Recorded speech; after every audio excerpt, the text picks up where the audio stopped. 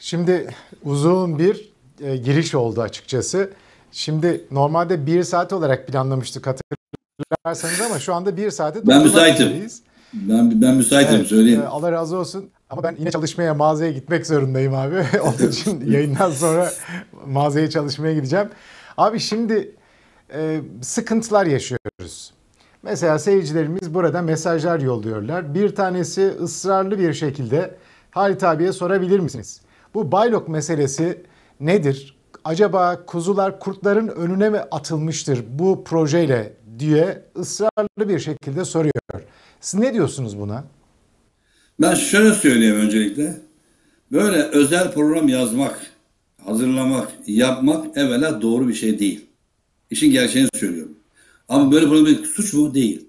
Hata mı? Değil. Yayını kullanır, kullanılır. Problem değil. Ama ben şunu söyleyeyim. Bu hizmette bu kullanan arkadaşlar belli bir kullanmışlar. Sonra herkese yaymışlar bunu. Ki bu da ayrıca şey de var. Bu programda e, internette bu şey var ya ne o ne, ne, ne diyorlar bu şeylere yükleme yapan yerlere. O Play Store'da, He, orada var mevcut bir program. var. Var. Daha sonra program kaldırılmış. Şimdi ben şöyle söyleyeyim. Ben bu programı hiçbir zaman bilgisayarıma, telefonuma, bir yerime yüklemedim. Net konuşuyorum. Hiç gerek yoktu. WhatsApp'ı var, başka haberleşme var. Neden yapıldı böyle bir şey ihtiyaç duyuldu ben bunu hala anlamış değilim.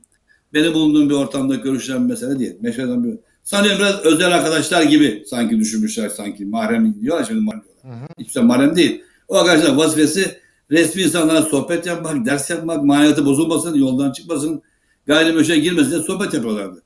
Kendi aralarında bir şey yapmışlar. Ben, ben size şunu açık konuşuyorum. Biz şu anda Çadağ'da yargılanıyoruz.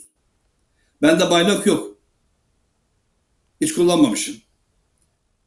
Benim telefonum 1994'te cep telefonu aldım herhalde ilk defa. 94 bile aldı çıktı. O numarayı ben Pakistan'da da onu kullandım. Oğlum Türkiye'den Evet. numarayı oğluma verdim. İkinci bir numara aldım Türkiye'ye gelince 2003'te. O numarayı ben bundan bir sene önce bıraktım biliyor musunuz? Yıllarca aynı numarayı kullandım. O numarayı değiştiren arkadaşlar ciddi hata yaptılar. Niye numara değiştiriyorsun? Ne konuştuğunu bil. Konuştuğun şeyi bil. Telefonu değiştirerek neyi saklıyorsun? Neyi, yaptığın bir iş gizli iş değil ki. Maalesef Baylok dahil yok bence. Yani öyle e, değerlendirmek... kod adı kullanma bak.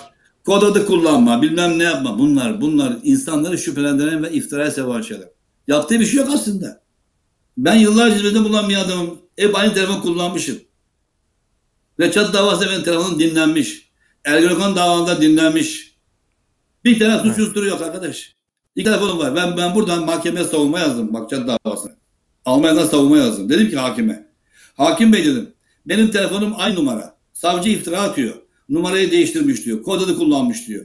Hayatta numara değiştirmedim. Kod adı kullanmadım. İki telefonum var. Şu anda birisi yanımda WhatsApp telefon dedim. 2017 yılında. Benim mahkemeden arayabilirsiniz dedim. Numaram duruyor hakim bey dedim. Savcı iftira atıyor. Kullanan olmuş olabilir. Beni ilgilendirmez. Niye bana iftira atıyor? Telefonum aynı. Değiştirmemişim. Baylok, toylak bilmem ne kullanmamışım böyle bir şey.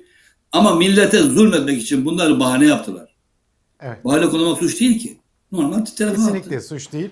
Mesela Alakası yok. de... Şimdi ben para yatırmışsın suç mu? Çocuğunu okula okuyorsun Evet. suç mu? Okulu açan kim onlar? Evet. Bankasya açan kim onlar? Peki niye? Bunlar tamamen kurtla kuzu hikayesi. Hani derede suçluymuşlar ya. Benim de bir suyu kirletiyor. Böyle bir şey yok. Ha hırsızlığını ortaya çıkardık galiba fazla. Medyamızda faş ettik. Biraz da, biraz da galiba fazla sahiplendik. Suçlu biz olduk. Evet. Hırsızlık yapan o, bir- suçlanan biz. Evet. Ben de mesela baylok kullanmakla suçlanan isimlerden birisiyim. Ama Türkiye'de olup da baylok kullandığı iddiasıyla şu anda hapishanelerde olan arkadaşlarımız var ne yazık ki ve çile çekmeye devam ediyorlar.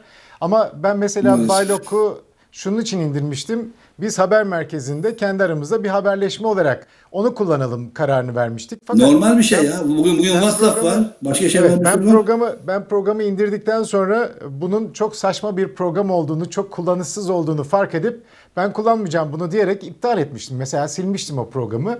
Ben hiç kullanmadım. Ayrı